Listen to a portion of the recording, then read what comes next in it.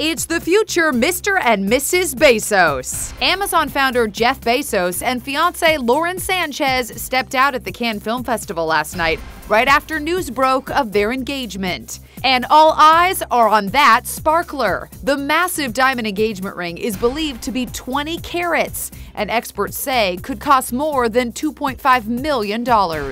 I'm not mad at that 20 carat diamond ring he gave her. 20 carats? Oh, how tacky. She better not Look at fall overboard. She will sink off that super yacht. Jeweler Olivia Landau let me try on some similar looking bling. This ring is the closest to Lauren Sanchez's ring. It is an 18 carat elongated cushion cut set in a thin pave diamond band. Oh my gosh, it's stunning. Do you want to try it on? Yes, please. Here you go. Wow, and it's heavy. Bet you can't order that on Amazon. Also turning heads in Cannes, it's supermodel Irina Shayk, and she's leaving little to the imagination. Bradley Cooper's ex went for a stroll in one of the wildest outfits we've seen.